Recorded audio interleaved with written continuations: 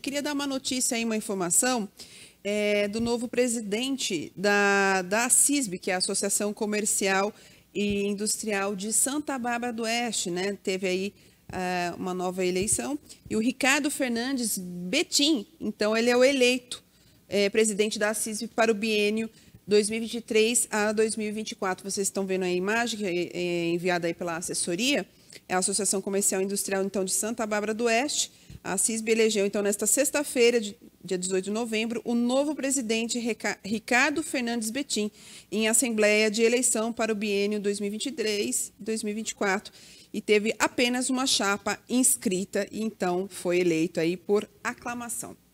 E aí com muito sucesso a gente parabeniza aí ao Ricardo por então agora ser o novo presidente da CISB né, que é a Associação Comercial de Santa Bárbara do Oeste. Nós tivemos esse ano também em Americana, né, a CIA com o Marcelo Fernandes, que foi eleito.